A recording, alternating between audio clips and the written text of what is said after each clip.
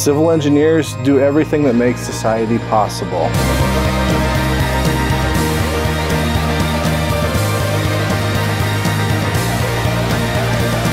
The more that I learned about civil engineering, the more it really felt like a great career for me because you get to respond directly to a need in the community and we build something to solve that problem. Whether it be a community that needs clean water, an improved road system, or to build a brand new high-rise tower, civil engineers get to design that from nothing, watch it get constructed, and then see the impact that it has on the community. We build this infrastructure, we keep this infrastructure, and we make sure that it's going to last for generations.